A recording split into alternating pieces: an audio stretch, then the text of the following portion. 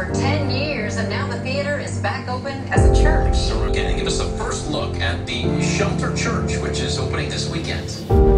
Just want to give you a scope of how big this theater is and the renovation that it took. Leveling sloped theater floors to make a sanctuary, adding rooms for kids, and it only took less than a year.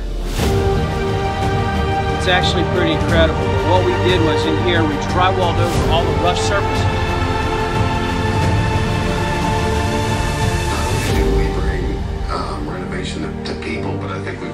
Job of bringing reclamation and renovation to this beautiful building.